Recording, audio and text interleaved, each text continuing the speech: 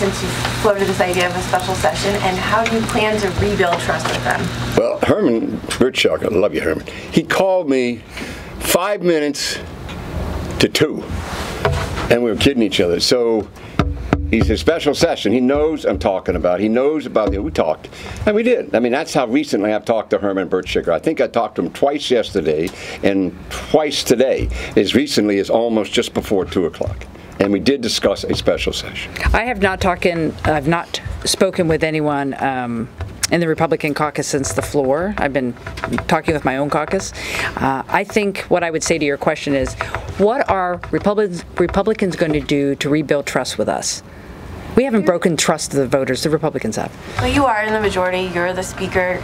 You you oversee the entire chamber, so that also does fall you. I am taking that job very seriously. I'm not walking away or waiting for them to come to me. But I do think it's incumbent upon them to think about what happened and how they're going to rebuild trust as we move forward with us as individuals. Nonetheless, my job is to govern, my job is to bring members back and continue to work on the priorities of the state. We're going to do that. My door has always been open. Everybody has my cell phone. I'm going to be proactive. I hope they will take my calls and we got to figure this out. So um, our work starts tomorrow, and I'm not shying away from that. I'm not, I don't know if you aimed that at me, but you know, I still have Republican chairs. Come on.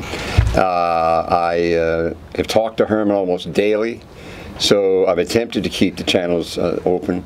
Uh, I'll just leave it at that. I think I've worked very hard on that. I'm very much a Democrat, but I also know what it is to be in the minority. I was in the minority in the House and the Senate, so I know all about that.